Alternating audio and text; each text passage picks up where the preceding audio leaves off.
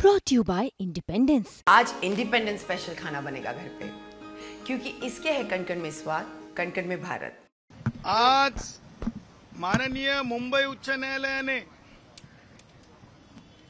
भारताच्या संविधानिक अधिकार आर्टिकल दोनशे सव्वीस ह्या सबबीखाली criminal writ petition public interest litigation Jayashree Patil आणि मी जी दाखल केली होती प्रदीर्घ सुनावणीनंतर सगळ्या गोष्टींच्या बाबी स्पष्टता पाहून फॅक्ट पाहून कायदेशीर तरतुदी पाहून आज बंद जो असतो तो असंविधानिक असतो.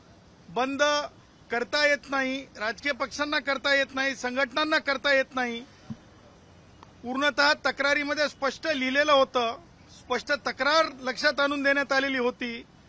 त्याचबरोबर बंदमुळं लहान चिल छोटी जी मुलं बालकं आहेत त्यांच्या शालेय शिक शाळेपासून ते अंगणवाडीमधल्या मिळणाऱ्या खाऊपर्यंत खाऊपासून ते कष्ट कबाड कष्ट करणाऱ्या दिहाडी मजुरापर्यंत दिहाडी मजुरापासून ते टॅक्सी ड्रायव्हर भाऊ जो आमचा टॅक्सी चालवतो त्याच्या टॅक्सीचं फोडली जाऊ शकते या सगळ्या गोष्टींपर्यंत प्रत्येक गोष्टीला अत्यंत सूक्ष्मपणे न्यायालयासमोर ठेवलं.